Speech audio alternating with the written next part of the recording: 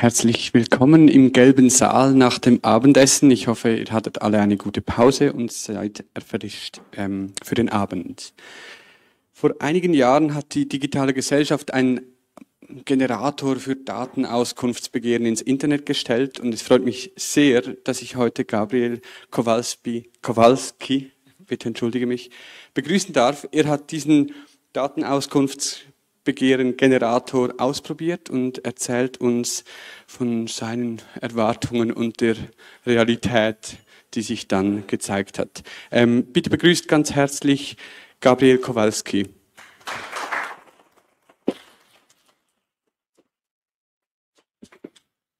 Ja, danke Benny. Ähm, ja, Datenschutzauskunft, Generator ausprobiert, mal geschaut, was passiert. Ich bin da jetzt ganz naiv an die Sache herangegangen. Ähm, und habe mal überlegt, was für Erwartungen kann man da haben, äh, wenn man einen Datenschutzgenerator bekommt ähm, und dann nutzt. Naja, also man erwartet, dass man die Daten dann auch bekommt natürlich. Aber was ist eigentlich so die Grundlage? Wieso erwarten wir das eigentlich? Das ist so ein bisschen so ein äh, gesellschaftlicher Vertrag. Ne? Also man sagt so, ja, äh, wenn jemand persönliche, schützenswerte Daten über dich äh, verarbeitet, dann macht er das auch in einem guten, äh, vertrauensvollen, integren Weg. Und wenn du dich davon überzeugen möchtest, ob das äh, alles korrekt ist, dann kannst du da mal hingehen und mal fragen und reinschauen. Du kriegst eine Kopie vielleicht, kannst vielleicht Missverständnisse korrigieren. Ähm, das ist auch so ein bisschen so der, das Zitat vom EDÖP. Die kümmern sich um den Datenschutz beim Bund.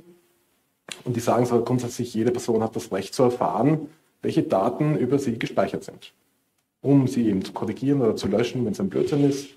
Ganz einfach. Ne? Im Endeffekt ist es einfach eine, ein, das Recht, einen Datenauszug zu bekommen, was, was, was Hauptsache über mich. Ne? Also, ähm, ein bisschen äh, Privatsphäre wird nicht so ganz im Datenschutzkontext äh, gesehen, ähm, aber ich finde, das ist schon äh, ein relevanter Aspekt.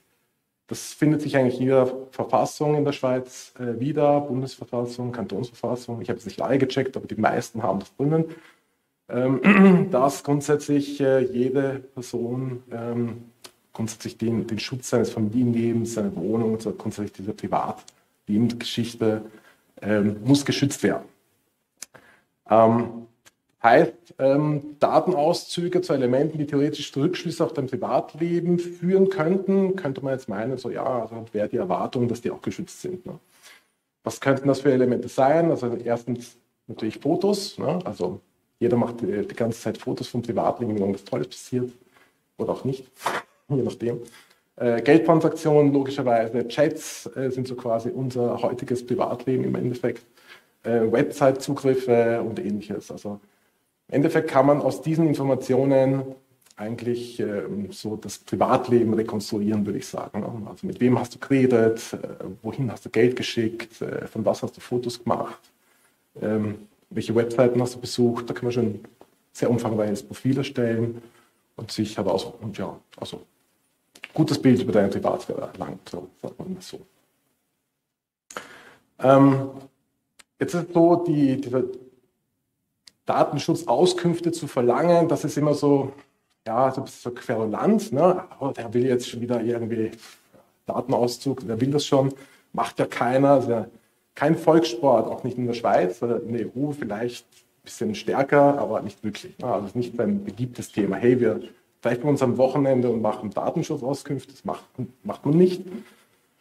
Ähm, deshalb vielleicht so ein bisschen, wie, wie, was ist eigentlich das Motiv dafür, Datenschutzauskünfte überhaupt zu verlangen? Ne? Also man sollte halt schon ab und zu mal, vielleicht so einmal im Jahr, einmal alle fünf Jahre mal nachschauen, was die Leute sich so äh, notiert haben über einen. Ähm, Bewusstsein, welches Bild man sozusagen bei Dritten, die Dritten kommen heute ein bisschen öfter vor, äh, anhand deiner Daten von dir erhalten können. Ne? Also man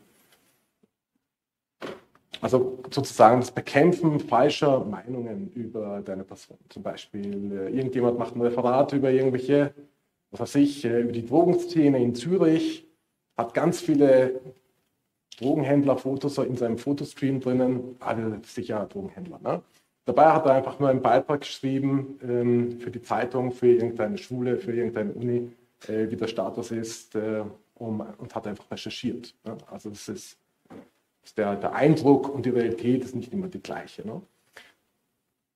Deshalb ist es auch wichtig, so Einsicht in diese Notizen, auch von Kundenbetreuern, von Sachbearbeitern ähm, und die Bereinigung, Bereinigung dieser Mitarbeiterfehler. Mitarbeiter machen Fehler. Die klicken vielleicht irgendwo ein falsches Kastel an, die schreiben irgendwie in das Notiz beim falschen Kunden hinein. Also es gibt viel Potenzial. Ähm, und falls jemand das wirklich auf die Spitze treiben möchte und mal nachschauen möchte, was für Datenregister es in der Schweiz gibt, da gibt es die öffentliche Stelle, Datarec, Admin CH. Ja, also kann man schon mal ein bisschen ähm, erschrecken, wie viele Datenbanken es da gibt. Ähm, ja, genau, das ist so ein bisschen das Motiv. Aber schauen wir uns mal an, ähm, wie so ein äh, Datenauskunftsgenerator denn überhaupt aussieht. Das ist so das Tool, das ja die digitale Gesellschaft zur Verfügung gestellt ist. easy, ne? Also man kann hingehen und sagen, ja, was habe ich jetzt eigentlich ähm, vom Adresshandel, was, was für Daten haben die von mir? Ne? Also ist da vielleicht Käuferverhalten drinnen? Ähm, ist es korrekt, was da drin ist? Gastrodaten, äh, Kreditauskünfte würde ich auch schwerst empfehlen, falls jemand irgendwo einen Kredit beantragen möchte. Vielleicht hat irgendein Händler oder so dir einen Negativeintrag ähm, irgendwo verpasst, weil du zu viel Gewährleistung auf defekte Produkte verlangt hast und sich da irgendwie, er hat vielleicht dadurch Verlust gemacht oder so, man weiß es nicht. Kundenkartenanbieter, ist auch mal interessant, was die überhaupt speichern über einen. Ähm, Mobilfunkprovider, auch sehr empfohlen. Ne? Mit wem habe ich telefoniert, welche SMS gibt es, äh, Location-Daten, da gibt es viel äh, Presse auch dazu. Mobilität, Online-Portale, WLAN-Anbieter, also ganz, äh, ganz easy zum, zu verwenden. Klickst du drauf, suchst dir ein paar aus, äh, schickst es weg, ähm, fertig. Ne? Also so die Theorie. Ähm, ich habe jetzt einfach so relativ salopp nach überlegt, so ja, wen, wen soll ich da jetzt aussuchen? Ja, ich kann mich jetzt, also für, für diesen Vortrag, kann ich jetzt nicht 100 Leute anschreiben. Es wäre vielleicht interessant, irgendwie so mit Firmen in Kontakt zu treten, die vielleicht potenziell viele Daten über mich haben. Also habe ich dann kurz nachgeschaut und so überlegt, so, ja, wen nehme ich denn da? Äh, überlegt so, okay, machen wir mal eine Bank. Ne? Eine Bank weiß sehr viel über einen. Dann gibt es noch diesen, diesen Graubereich der Zahlungssysteme. Die, die, sind, die sind keine Bank, per se. Ähm, dann gibt es Internetanbieter, Mobilfunkanbieter und Pakettransporteure. Ne?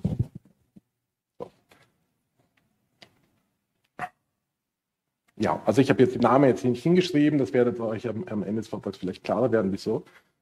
Ähm, aber was interessant ist, ist, wieso ähm, ein, eine Firma konnte ich nicht anfragen. Ich konnte nicht anfragen Apple oder Google. Jeder verwendet die, jeder hat die quasi jeden Tag in der Hand. Das wäre eigentlich die Firma Nummer eins. Ne? Hey, los. Apple, sag mir, was du über mich hast. Ne? Ähm, ich habe mal kurz nur nachgeschaut, weil also ich kann ja kein, keine Datenschutzanfrage stellen. Wir haben jetzt keine rechtliche Station hier in der Schweiz, können sich jetzt nicht, kann sie jetzt nicht zwingen, hier eine Auskunft zu geben. Ähm, also habe ich mal angeschaut, was, haben, was, was setzen Sie denn für Regeln ein? Ne? Also was sagen Sie, was versprechen Sie mir denn, wenn ich zum Beispiel deren Cloud verwende? Und das ist ganz interessant. Ne? Also du, du erklärst dich grundsätzlich bereit, dass Sie da rumstöbern können, so viel Sie wollen. Also Apple direkt, das ist schon mal, ja, weiß nicht. Apple-Mitarbeiter gibt es auch hier in der Schweiz, ne? also wo du willst. Und die Inhalte habe ich ja schon gesagt, das sind jetzt Fotos, Nachrichten, iMessages, das ist alles, was, was zu dem Apple-System alles dazugehört. Ähm, und da kommen schon wieder diese sonstigen Dritten hinzu. Und auch interessant ist, wenn Apple der Meinung ist, das ist eine gute Idee, dann geben sie ihnen deine Daten. Ne? Also das ist so relativ, was, was jetzt eigentlich ähm, eigentlich ein Freibrief für, für jeden, der sich gut mit Apple versteht. Ne? Das gleiche bei Google Drive. Ähm, Google hat es ein bisschen besser formuliert, ist ein bisschen strenger vom Text her, was sie schreiben. Sie beschränken es konkret äh, eher so auf diese offiziellen Stellen so, so des Staates, so Strafverfolgung und Co. und solche Sachen. Ähm, Aber hier ist auch ein bisschen so dieses, wenn wir davon ausgehen dürfen, wenn es unsere Meinung ist, dass das eine gute Idee ist, dann machen wir das. Ne? Jetzt könnte man sagen, ja, die sollten das halt ändern, die sollten das besser machen. Das ist ja nicht okay, wenn die jetzt so nach, nach ihrem Gutdünken sozusagen entscheiden, was mit unseren Privat, privaten Daten da passiert. Ähm, ich glaube, also meine persönliche Meinung, ähm, ich glaube, die weisen hier im Endeffekt auf eine Sicherheitslücke äh, hin, aktiv, und die sagen so, ja, wenn uns ein Staat sagt, das ist rechtens, dass wir diese Daten ihm zur Verfügung stellen, dann müssen wir es einfach akzeptieren. Also es ist nicht so, dass, dass die jetzt urteilen, wie quasi der Staat, äh, sage ich jetzt mal, seine, ähm, sein, ja, seine Bevölkerung ähm, behandelt, sage ich jetzt einmal. Ne? Das ist jetzt so meine, äh, meine Interpretation davon. Kann natürlich auch sein, dass Apple mit Dritten auch Aktionäre meint. Das weiß ich nicht. Ich habe geschaut, es gibt keine Definition von Dritten. Also wissen wir es nicht. Ne? Also wie gesagt, sehr, sehr offen gehalten.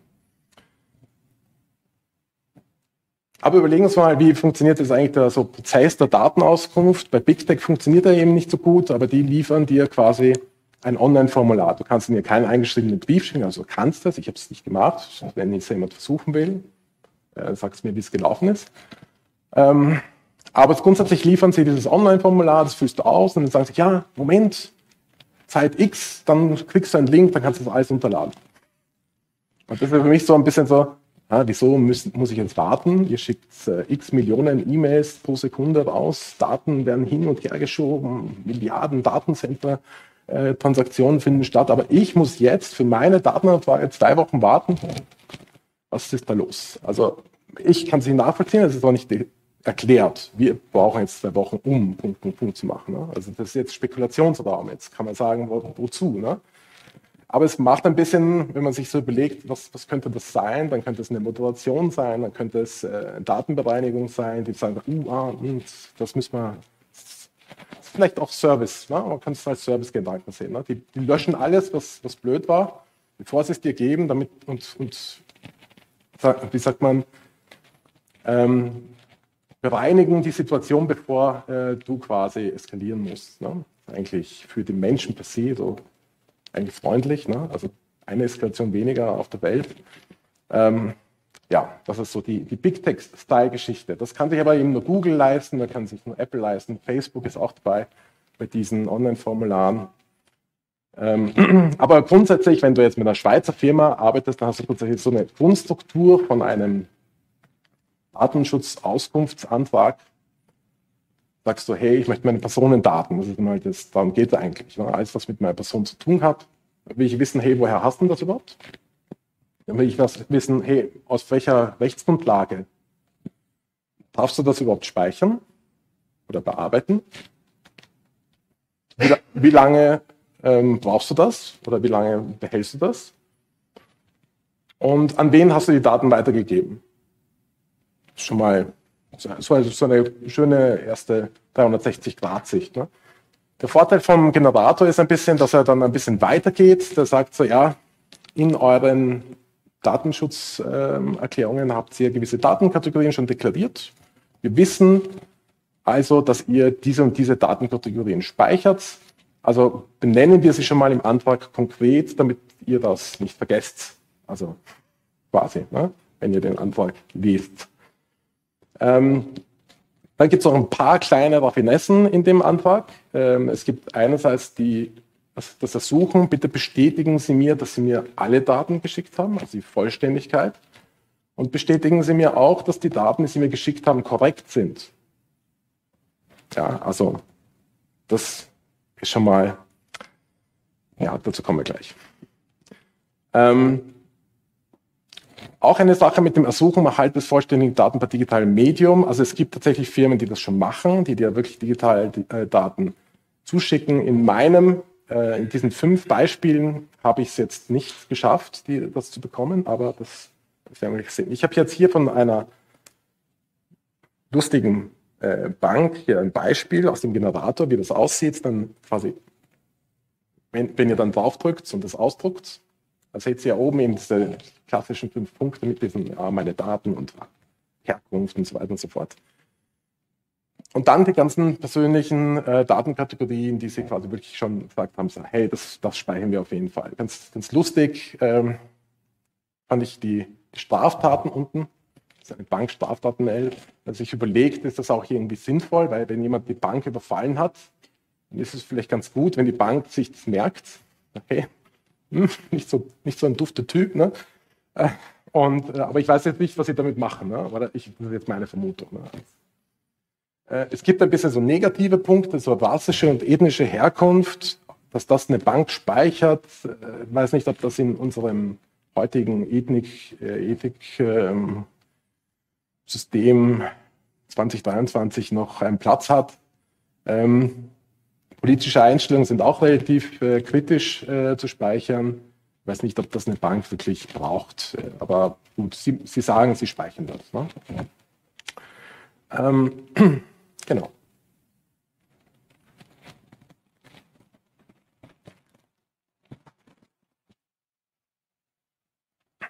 Gut, dann schauen wir uns mal an, was, was war das Ergebnis. Also äh, die, ich habe der Bank ein Schreiben geschickt, ich habe ein Schreiben zurückbekommen. Das hat schon mal funktioniert. Ähm, überraschend, sie haben mir quasi also das Kundenprofil ausgedruckt zugeschickt und haben halt ein paar Sachen geschwärzt. Ne? Also so was für ein Kundenrating habe ich? Ist das jetzt gut oder schlecht? Ich weiß es nicht. Ne? Ähm, Sensitivität, was das zum, ich weiß nicht, was das bedeuten soll. Ne? Also hört dazu, wenn wir mit ihm reden. Ich weiß es nicht. Ich könnte jetzt Wikipedia jetzt zitieren, aber es führt zu nichts. Ähm, Herkunft von Vermögenswerten, geschwärzt, auch seltsam. Ne? Also, bin ich jetzt, bin jetzt ein Geldwäscher oder was? Also, also grundsätzlich, das sind also Informationen, die ähm, rechtlich gesehen, also aus meinem Verständnis, jetzt die Erwartung gewesen wäre, hey, ihr zeigt mir etwas, was ihr über mich so gespeichert habt. Ähm, ja, Familiensituationen. Also, wird sowas geschwärzt? Ganz komisch. Ähm, auch interessant, die Tonaufzeichnungen. Sie haben gesagt, dass Tonaufzeichnungen machen. Das auch ganz, äh, ganz gut, wenn du zum Beispiel in einem ähm, diese, es gibt ja diese Kontoeröffnungssituationen, äh, wo du auch online über Apps und so weiter diese, diese Kontos eröffnest. Du speichern sie, wenn du da sagst, ähm, irgendwelche Details erwähnst, dass sie das haben. Das, also ich persönlich habe da nichts dagegen. Ich finde es so komisch, dass ich jetzt in die Filiale muss, um das zu bekommen. Also das scheint der Prozess nicht irgendwie nicht, also nicht angekommen zu sein, dass sie die Daten auch herausgeben. Also ich weiß nicht, meine Erwartung wäre jetzt, dass ich die quasi auf, einem, auf einer CD oder so bekomme. Weiß nicht, ja, also sowas. Ähm, Datenempfänger werden nicht konkret benannt. Also du kriegst dann so eine Liste mit A, Datenkategorie A, B, C, D, E. Das speichern wir alles ähm, und auch alles korrekt mit dauert so lang und so weiter und so fort. Und dann steht dann, wir geben es weiter an Dritte. Wieder so ein wen jetzt, ne? Also das, das finde ich ein bisschen ähm, wild, muss ich sagen, diese Weitergabe an Dritte. Gut, ich habe das natürlich urgiert, also ich habe mich, äh, ich habe nochmal einen Brief geschrieben, so, hey Leute, könnt ihr bitte diese Mängel beheben? Ähm, und sie haben dann auch nicht alles beim ersten Brief beantwortet, also habe ich die, die Sachen auch noch nachgefasst. Sie haben es grundsätzlich vervollständigt, aber die Schwärzungen haben sie nicht äh, bereinigt, zum Beispiel. Ne? Also das, so, so ist die Situation. Ähm, beim Zahlungssystem war es auch ganz interessant. Ja, ähm, ich habe also ich, ich hab das immer so ein paar Einschreiben geschickt. Ne? Also schaust, äh, wo ist die Haupt, der Hauptsitz der Firma? Äh, bei manchen, äh, also das ist sowieso hinterlegt und dann schickst du es hin und dann äh, wartest du. Ne? Dann habe ich gedacht, normalerweise versuche ich dann irgendwie so nachzufassen und sagen, ja, was da passiert. Also es stimmt nicht ganz, ich habe eine, hab eine Antwort bekommen, so hey, ähm, wir haben keinen Identitätsnachweis bekommen und, und solche Geschichten. Dann habe ich einen Schreiben bekommen, nein, habt ihr schon, vielleicht schaut ihr mal auf Seite 2. Hm. Ähm, ja, dann, ja, also das war die erste Reaktion. Zweite Reaktion war ein bisschen auch wild, fand ich. Die haben mich dann irgendwie angerufen, unterdrückte Nummer. Es gibt Leute, die heben da nicht ab. Und die haben gesagt, ja, wir können dir die Daten nicht geben oder wir beauskunften sie nicht und du kriegst sie von der Bank und da, da, da, so Geschichten, ne, haben sie mir erzählt. Und im Endeffekt hatte ich so die, mein Eindruck, mein persönlicher Eindruck war so, ja, sie wollten am Telefon, vielleicht haben sie es mitgeschnitten, weiß ich nicht, von mir hören, ja, ist okay, ich gehe zur Bank. das war wahrscheinlich das, was sie hören wollten. Ähm, aber ich wollte ja nicht die Daten per se. Ne? Ich wollte nicht den Datenauszug haben, wo dann drin steht, das sind die Transaktionen. Das, das habe ich dann tatsächlich auch von der Bank bekommen. Sondern ich wollte wissen, was haben Sie für Datenkategorien überhaupt über mich? Was speichern Sie? Ne? Was, ähm, an wen geben Sie Ihre Daten weiter? Ähm, wie lange speichern Sie Ihre Daten? Und was die Rechtsgrundlage für die Bearbeitung? Ne? Und das, das war jetzt, wenn man da jetzt, darauf habe ich keine Antwort bekommen. Ne? Das ist so, so die Situation. Genau. Und ja, beim Internetanbieter war es ein bisschen anders. Ähm, das war ein sehr freundlicher Datenschutz, äh, sag mal, Beauftragter hat mich anscheinend schon gekannt. Ich habe auch, glaube ich, eine Urgenz gehabt bei ihm. Ähm, wir haben dann nett geplauscht. Er hat mir alles erklärt. Äh, sehr sympathisch. Ähm, grundsätzlich hatte ich das Gefühl, dass sie das äh, nicht gewöhnt sind. Den ersten, mein Antrag hat irgendein Lehrling bekommen, der hat das irgendwie falsch bearbeitet. Ähm, das haben sie dann in die richtigen Wege äh, gebracht. Hat ein bisschen gedauert, aber sie haben es dann wirklich beantwortet. Ähm, Sie haben ja dann wirklich einfach alle Daten gegeben, die Sie so im Bestellsystem und im Ticketsystem gehabt haben, so mal was nicht funktioniert zum Beispiel. Also das habe ich auch so eins zu eins kopiert und mir zur Verfügung gestellt. Ähm, was Sie nicht gemacht haben, ist, äh, Sie haben die Datenweitergabe nicht deklariert. Weiß nicht genau, wieso. Ähm, konkrete gespeicherte Datenkategorien haben Sie dementsprechend auch nicht deklariert. Also Sie haben einfach ich könnte sagen, sie haben salopp einfach alles geschickt und damit ist gut. Ne? Ähm, aber sie haben auch die Bestätigung der Vollständigkeit äh, nicht gegeben. Sie haben nicht die äh, Wichtigkeit bestätigt. Nein, Moment, das muss ich korrigieren. Sie haben die Bestätigung der Vollständigkeit gegeben, aber nicht der Wichtigkeit. So.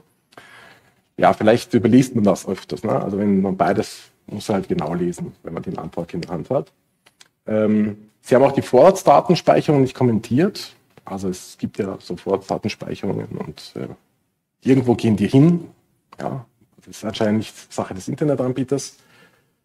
Ähm, ja, und grundsätzlich war es eine sehr konstruktive telefonische Abwehr mit dem Datenschutzbeauftragten. Also sicher eine halbe Stunde geredet, wenn nicht eine Stunde. Also war sehr, sehr interessant. Ähm, dennoch das Ergebnis nicht 100 Prozent. Ne? Also es ist immer noch so ein bisschen ähm, irgendwas nicht nicht ideal, ne? würde ich jetzt mal meinen. Ähm, der Mobilfunkanbieter war auch wild. Dem habe ich ein Einschreiben geschickt. Ich habe äh, telefonisch schockiert. Er war einfach nichts bekommen. Ne? Also, da gesagt, nein, äh, mag nicht. Ähm, ich muss dazu sagen, ähm, er versucht so diese Big Tech ähm, Formularsituation ähm, auszunutzen und sozusagen, hey, ich bin wie Google. Ne? hier hast ein Formular, das musst du nutzen und dann äh, ist gut. Ne? ähm, aber das Problem an dem Formular ist ja, dass ich ja nicht alle Rechte quasi äh, also, also verlangen darf in dem Formular. Ich, er gibt mir einfach das, was er automatisch mir geben kann und das, das ist so. Ich habe aber einfach dieses Formular verwendet äh, und ihm zugestellt und das wäre ja theoretisch rechtsbindend, dass er mir das innerhalb von 30 Tagen zustellt. Ähm, ja, du einfach sagen, sorry, hat nicht funktioniert. Ja, und dann gibt es noch äh, Paketdienstleister, da gibt es äh, diverse. Ähm, war nicht, also sind jetzt nicht so, haben jetzt nicht so den Datentouch eigentlich. Ne? Also man denkt sich, oh, hm, da einmal im Monat, einmal kriege ich ein Paket, okay, was die da gespeichert haben. Ähm, auf jeden Fall, ich habe eine Menge darüber machen müssen. Also ich habe mal jetzt sagen müssen, so, hey, tut mir leid, ähm, äh, da fehlt was, äh, grundsätzlich haben, waren sie sehr positiv, also es war ein sehr nettes, sympathisches Gespräch mit ihnen. Ähm, sie haben auch recht viel schriftlich beauskunftet, haben ja so ein bisschen so einen 360-Grad-Blick gegeben, so ja, was gibt es für Daten, die wir speichern, äh, war auch sehr interessant.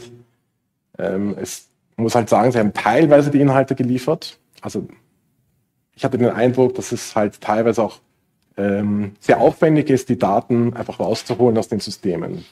Vielleicht haben sie sehr viele Systeme, man weiß es nicht genau, ähm, aber da ist vielleicht der Datenschutzbeauftragte vielleicht ein bisschen überfordert oder so, ich weiß es nicht. Ne? Große Konzerne normalerweise, vielleicht sind sie international, man weiß nicht genau, wie, wie deren Umgang mit Daten genau ähm, aussieht. Ähm, für mich ist aber das, also ich kann zwar Verständnis zeigen, aber im Endeffekt gilt, es dann das Ergebnis zu prüfen, was, was, was haben wir bekommen im Endeffekt. Ähm, genau. Sie haben natürlich auch keine Vollständigkeit geliefert, äh, also natürlich, äh, also Sie haben es schon ein bisschen äh, in Aussicht gestellt, dass Sie es jetzt äh, nicht wirklich hinbekommen, weil es so viele Daten sind. Und Sie haben aber auch gesagt, ja, wenn mich irgendwas in die Richtung interessiert, dann können Sie in diese Richtung mehr liefern. So, ja. In dem Ton. Ne? Sie haben auch keine Richtigkeit bestätigt. Ähm, Detail. Und äh, die Datenweitergabe ist ebenfalls sehr unkonkret definiert. Man weiß nicht genau, wo diese Daten hingehen. Ja. Daten sind allgemein immer sehr flüchtig. Ne? Heute sind sie hier, morgen sind sie in China. Man weiß nicht genau, was passiert ist. Und ähm, ja, das ist jetzt vielleicht so in der einzelnen Geschichte gar nicht so schlecht. Ne? Sagt sie, ja, jetzt habe ich die mal zusammengefasst und mir angeschaut, ja, ähm, wie sieht es dann aus, wenn man das auf einen Blick äh, zusammenfasst? Also sehr gelb und sehr rot. Ähm, ja, also im Endeffekt links findet ihr so quasi die Sachen, die wir im Antrag be beantragt haben. Also die Personendaten per se, die Herkunft der Daten, die Rechtsgrundlage, Dauer, Datenweitergabe, Datenkategorien und so weiter. Und viele haben es einfach nicht geliefert. Ne? Viele ähm, wollen die Richtigkeit nicht bestätigen, viele wollen die Vollständigkeit nicht bestätigen. Ähm, die Datenweitergabe ist sehr allgemein bis, bis nicht definiert. Ähm, ja, das ist, ähm, ich habe jetzt auch nicht Firmennamen ähm, hier aufgeschrieben, weil ich nicht der Meinung bin, dass das bei irgendeiner anderen Firma in der gleichen Branche anders ist. Ähm, ich glaube, das ist einfach ein Systemproblem. In der Schweiz ist es einfach so, dass Datenschutzfragen einfach nicht äh, keinen kein Druck haben. Ne? Also es gibt keinen Mechanismus, wo du sagst, mal, die haben mir das nicht geliefert, äh, zack, äh, die, die Datenschutzbehörde oder sowas hilft dir jetzt ähm, und die müssen jetzt irgendwie ähm, eine kleine Strafe zahlen, damit sie das nächste Mal besser sind. Ähm, das ist einfach der Status quo, mit dem wir leben, einfach in der Schweiz. Und äh, das ist jetzt natürlich die Frage, was, was kann man besser machen? Ähm, ja, also ich habe mich mal, das ist mir letztens einfach so ähm, den Stream bei mir äh, im Social Media durchgelaufen und das lustigerweise passend gewesen. Ähm, und zwar das Nike-Manifest aus dem Jahr 1977, also sehr, sehr lang her. Den Ursprüngen des Kapitalismus, in den Ursprüngen des Unternehmertums. Ne? Und Nike ist ein sehr erfolgreiches Unternehmen. Ich habe mir so zuerst überlegt, irgendjemand hat das gepostet und hat gesagt, oh, wuh, mega, äh, voll die äh, coole, motivierende Haltung. Ähm, Sie haben ja hier so Sachen we are no fans all the time. Wir sind, äh, ähm, your job isn't done until the job is done. Also so coole Sprüche haben sie drin. Ne? Und dann hast du dann, also wenn man genau liest, dann plötzlich so, hä, was, was, das? Break the rules, fight the law. Also was, ja, also das ist 1977 gewesen. Also ich glaube nicht, dass das in irgendeinem, äh, in irgendeiner Vision eines heutigen Unternehmens drinsteht. Ähm, aber es ist natürlich auch so, jedes Unternehmen will Geld verdienen vorerst. Und wenn jetzt zum Beispiel ein Unternehmen mit der Weitergabe von Daten, von Daten 20 Millionen im Jahr verdient und eine Strafe von, von gibt es überhaupt eine Strafe? Also ich glaube, es gibt so eine theoretische Strafe von 250.000, ähm, die ein Unternehmen treffen könnte. Dann, ja, ich weiß nicht, dann dauert, braucht es einiges an ähm, Strafen, bis die dann sagen, okay, gut, also das zahlt sich jetzt nicht mehr aus. Ne? Ähm, Das muss man sich bewusst sein.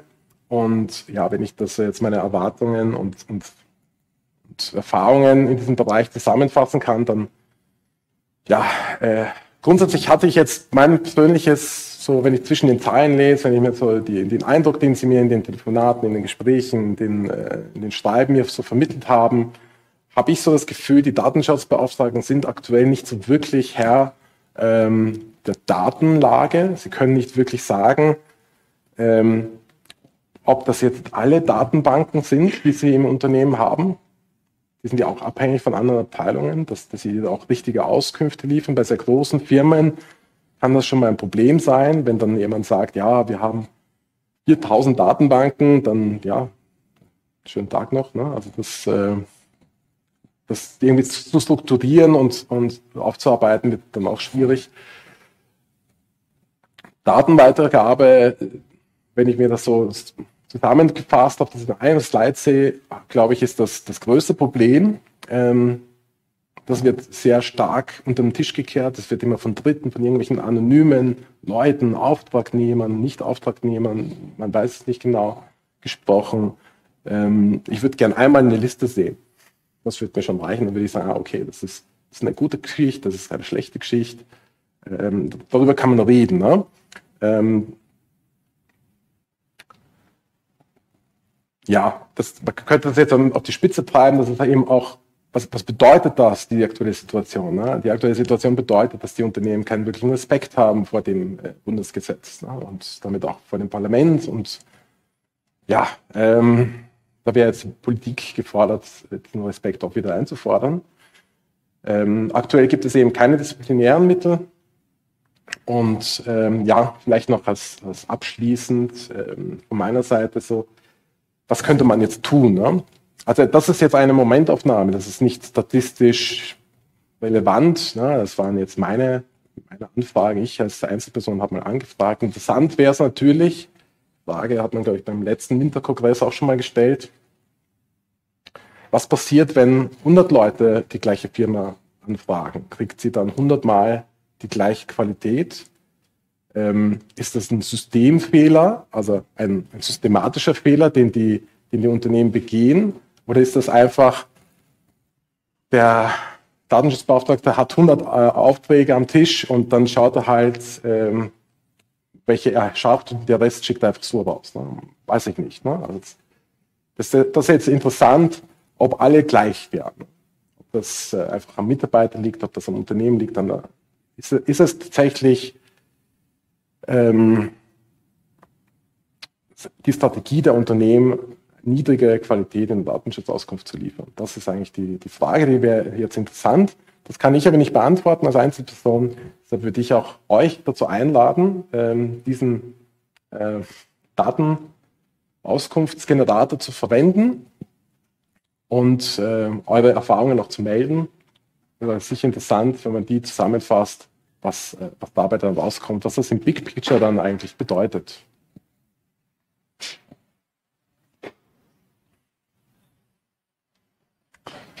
Ja, Dankeschön.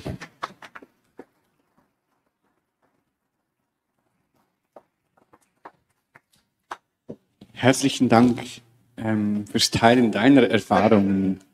Ähm, wir haben noch etwas Zeit für Fragen, Antworten. Ähm, Vielleicht habt ihr eine anekdotische Geschichte zu erzählen ähm, von euren Versuchen, an eure Daten ranzukommen. Das Saalmikro ist offen. Ähm, Bitte schön. Danke fürs Teilen von diesen Erfahrungen. Ich habe mich auch schon länger mal damit, oder nicht beschäftigt, sondern mit dem Gedanken getragen, sowas mal zu machen. Äh, eine erste Frage, wie viel Zeit braucht sowas? Ja, also die, die, also der Generator nimmt dir schon viel Arbeit ab, grundsätzlich. Also du kannst es äh, ausdrucken. Ähm, du musst es dann natürlich ja als eingeschrieben schicken. Ich weiß nicht, also wenn du fünf Problem ist, du musst es dann nachweisbar machen. Ne? Also du musst es dann kopieren, ja, dass du es dann auch zu Hause hast. Ähm, das, ja, weiß nicht, ich würde so drei Stunden rechnen. Pro? Na, also, also wenn, du, wenn, wenn, du ein Prozess, also die fünf haben mich so drei, vier Stunden gekostet, das wirklich äh, kopiert, abgelegt, losgeschickt,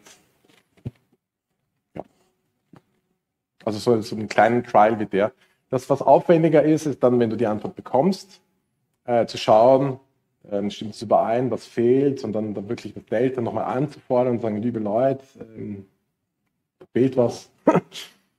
das, das nimmt dann wieder vielleicht so ein, zwei Stunden in Kauf. Ähm, den Anspruch, dass du es ähm, realisierst. Also bei fünf sind das wieder zehn, also 14 Stunden sind es dann. Also nicht an einem Tag, das zieht sich dann. Okay. Gibt es eine Idee, diese Daten dann irgendwie strukturiert zu sammeln oder einfach per E-Mail oder was ist da die Idee? Ja, also die, diese Tabelle, die ich ja vorhin gezeigt habe, also das ist jetzt die Momentaufnahme von mir, das wäre wirklich interessant zu schauen, ob das sich bewahrheitet, ob da jetzt zum Beispiel 20 Leute das melden, die kriegen immer keine äh, Antwort der, zur Weitergabe der Daten zum Beispiel. Äh, dann könnte man wirklich ans Unternehmen herantreten und sagen, liebe Leute, wir haben hier 20 Anfragen gestellt, ähm, ist, das, ist das euch bewusst? Wollt ihr so tatsächlich mit den Daten, ähm, Daten umgehen? Und dann könnte man vielleicht was verändern. Okay, danke. Hello, I'll ask my question in English. Mm -hmm. um, so about four months ago, I tried to write to Sunrise, the mm -hmm. tele telecom provider, to ask my data. I wanted to actually I'd read some article on the website of Digitale Gesellschaft, and I wanted to ask for the data that they um, record for the data retention, which is required by Swiss law. Mm-hmm. And so I wrote it, and well, it took like three months for them to answer, which is already more than uh, what's required. But um, so, but they did answer, and uh, they asked me to pay 70 francs to to be able to get my data. Um, this seems a bit excessive to me. I mean, they should have shouldn't take two hours of a person working to to to be able to to download it or and put it on a CD or whatever. Mm-hmm. Do you think like is there uh, is it specified on who the burden of proof lies about how much the like what's an accessi- acceptable amount to be paid and is there any ways to um, yeah, to fight off that um, request to pay. And you can answer in German if you want. Um, you, you understand German, right? Ja, ja. Okay. Uh, also grundsätzlich, äh, es dürfen die, die Anfrage grundsätzlich ver, also verlängern. Ne? Haben, manche haben das auch bei mir gemacht. Die haben gesagt, ein Monat ist knapp, wir haben es wir gerade entdeckt, ui, äh, zwei, zwei Tage schicken wir das nicht mehr. Äh, und äh, grundsätzlich dürfen sie drei Monate dauern. Es gibt, wenn ich mich recht entsinne, irgendwie so ein, eine Regelung, wo Sie sagen, bei sehr äh, umfangreichen ähm, Auskünften dürfen Sie ein bisschen Geld verlangen. Ähm, ich bin's jetzt, weiß jetzt nicht, wie umfangreich das ist. Ähm, 70, ja, weiß nicht, das ist äh, ein bisschen random, hört sich das an. Nicht, ne? ich glaube, es gibt dazu eine Ergänzung aus dem Publikum. Mhm. Ich muss das letzte gerade nachschauen, von der anderen Seite her. Ähm, ist im Gesetz beschrieben bis zu 300 Franken. Bei, ähm, das ist dann sehr schwammig formuliert bei erhöhtem Aufwand, so irgendwas, was nicht im Gesetz definiert ist. Ja, also dieser erhöhte Aufwand, den, den müssen Sie erstmal aufzeigen. Also eine Datenbankabfrage ist jetzt kein erhöhter Aufwand per se, aber ich weiß jetzt nicht, ich würde jetzt vielleicht mal die 70 zahlen und schauen und äh, könntest du es uns melden und dann ähm, fragen wir die, ob das dann jetzt schon als erhöhter Aufwand gilt. Der EDIP äh, beantwortet solche Fragen auch immer gern. Also wenn du, wenn du dann die Daten hast, kannst du auch bei ihm fragen, so ist das ist 70 Franken jetzt angemessen? Dann kann er dir sagen, wie das die Branche so macht. Alright, thank you very much. Ähm, ja, also ich finde jetzt diesen Ansatz ziemlich spannend. Ich ich habe bei Algorithm Watch, wo wir so auch etwas in eine ähnliche Richtung machen, um dann auch die Daten wirklich auswerten zu können, also mit äh, äh, Datenspende, äh, Kampagnen. Also wir haben gerade eine am Laufen zu, äh, zu TikTok, wo Leute halt einfach TikTok anfragen können, was sind die Daten, die sie über sie haben. Und wir ähm, werten das dann aus. Ja, es ist jetzt ein bisschen so, ich, ich finde es total spannend, was du machst mit so einzelnen Anfragen, aber ja, was, was, was ist so genau die Idee dahinter? Weil du hast jetzt einfach Daten für dich selber und du kannst irgendwie jetzt, also Aber es ist jetzt wie nicht so, eben du kannst jetzt keine Muster erkennen, in welche Daten haben sie wirklich über, über, über Leute allgemein. Ja, also grundsätzlich Daten sind nicht Beauskünften. TikTok ist ja so ein äh, System, wo man sagt, ja, China verwendet das, um irgendwelche Spionagegeschichten zu machen. Das ist zumindest der, das hört man so.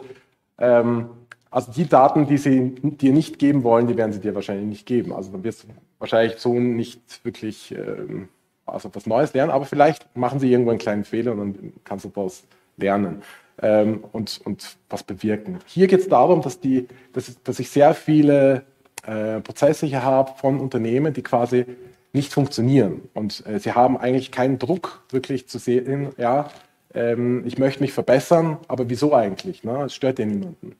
Und wenn man jetzt, äh, meine Darstellung war jetzt eine Momentaufnahme, vielleicht äh, war der Beauftragte auf Urlaub, also da können Sie sich jetzt viel in viele Richtungen ausreden und trotzdem integer bleiben.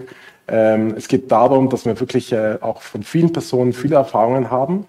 Und durch diese eben durch diese Masse von Leuten, wenn die alle das so darstellen, wie ich das jetzt hatte, dann ist das tatsächlich eine Sache, wo man dann wirklich ähm, mit der Unternehmensführung auch reden kann und sagen kann, hey, möchtet ihr wirklich so, dass, dass wir unsere Erfahrungen so auch publizieren zum Beispiel. Ne? Und das, ist dann, das wäre dann für Sie nicht so ideal. Ne? Weil rechtlich können wir nicht so wirklich viel machen. Ne? Also wir können nur ein bisschen äh, Aktivismus machen. Ne? Wenn ich es richtig verstanden habe, gibt es bis zu 4% des Umsatzes Strafe in der EU für solche mhm. Sachen. Ist es dort besser? Ähm, also sie nehmen deine Anfragen dort sehr viel ernster. Also ähm, ich weiß, im Datenschutz ist die Frage besser immer so, ja, also es gibt immer irgendwo eine Lücke, die niemand sieht, ne? also weiß ich nicht. Ne? Also so eine generelle Antwort, Antwort kann ich dir nicht geben, aber ähm, die investieren auf jeden Fall, wenn, wenn ich so Konzerne sehe, investieren sie um einiges mehr in der EU ähm, dass das wirklich funktioniert, weil sie eben nicht 4% verlieren wollen. Ja. Kommt eher selten vor, so eine Strafe. Ich habe zwei Fragen. Das erste, ähm, also wenn ich das als, als Experiment anschaue, dann äh, wie lange läuft es das schon bei euch so? Also, also oder gibt es diese Möglichkeit mit diesem äh, Generator? Genau, also der Generator, da kannst du auf die, äh, diesen Link, den kannst du dir anschauen und selbst einfach für dich äh, Auskünfte generieren. Kannst du einfach so machen. Genau, aber ist das irgendwann im 2010 gestartet oder 2020 oder? Ich glaube, den, den Generator, den hat übrigens äh, Benny gemacht, glaube ich. Ich habe einen Teil davon gemacht und ich überlege gerade, in welchem Jahr das war. Ich habe so eine Lücke wegen der Pandemie. Ich glaube, das war vor dreieinhalb Jahren oder vor zweieinhalb Jahren, irgendwie so da, darum. Das geht aber auch nicht weg, das bleibt einfach da. Okay, danke. Also die zweite Frage, ähm, diese, diese Schwärzungen, also, also, also wenn Sie das jetzt herausgeben müssen, also ist es nicht schlimm, dass Sie jetzt da einen Teil geschwärzt haben oder eben da irgendwie total in, äh, so unkonkret sind und so? Also, ja, oder, oder ist das eben nicht so ein hartes Gesetz? Oder? Ja, also, wie soll ich sagen, ähm, wenn du ähm, im Parkverbot stehen darfst, aber keine Strafe dafür kriegst. Ne? Also, wenn, also darf er nicht stehen im Parkverbot. Ne? Aber wenn der Polizist vorbeikommt und sagt, ja, also da dürfen Sie nicht stehen, das ist alles, was passiert. Ne? Du kriegst keine Strafe, du kriegst kein, musst kein Geld zahlen, dann bleibst du einfach stehen, oder? Also grundsätzlich. Ne? Also, ja, es ist äh, grundsätzlich gegen das Gesetz, das stimmt, aber es gibt nichts, was du jetzt, äh, du kannst jetzt nicht irgendwie ja, ich glaube, du könntest es irgendwie klagen dann vor Gericht, aber das ist ja also teuer. Das, das, könnte, das könnte man dann schon irgendwie. Und sonst ja. eben die Masse mit diesem groß angelegten. Ja, also das äh, äh, Excel-Tabelle. Ich will jetzt nicht, eigentlich will ich jetzt nicht die, die, die irgendeine Klage machen, das endet meistens äh, für keine Seite gut, aber du kannst auf jeden Fall mit vielen, äh, mit so einem Experiment, ja, mit vielen Leuten dann auch versuchen, ein Bewusstsein zu schaffen in der Öffentlichkeit und so die Firma ein bisschen zu zwingen, so ja, okay, sorry, wir haben das jetzt nicht so ernst genommen, wir machen das jetzt besser. Ne? Also, das ist die Idee. Wir müssen hier abschließen wegen der Zeit. Okay. Ähm, herzlichen Dank, Gabriel.